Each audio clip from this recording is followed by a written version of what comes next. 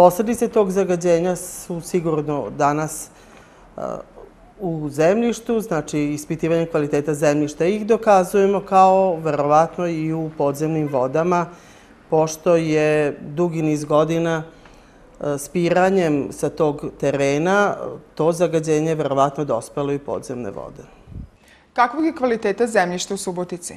Rezultate ispitivanja imamo za deset lokaliteta na kojima smo radili.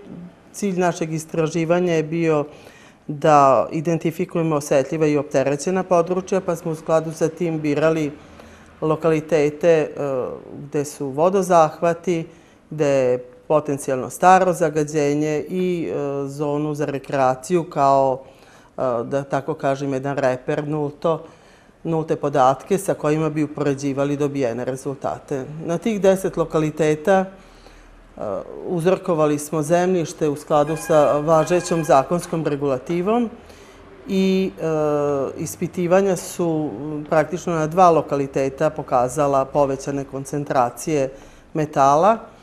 To je na eh, lokalitetu kod vodozahvata 1, gde je do pre par godina ili deseta godina funkcionisala i radila hemijska industrija Zorka.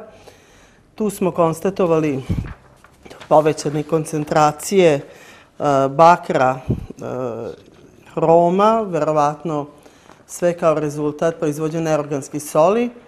A što se drugog lokaliteta tiče, to je ispred bivše kožare, Panonije, gdje su povećane koncentracije bakra, hroma, nikla i cinka. To su sve rezultati znači starog zagađenja. Da li postoji katastar zagađivača?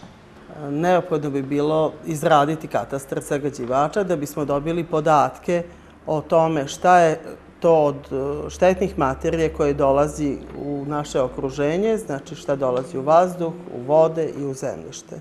Taj katastar bi nam pružio takve podatke.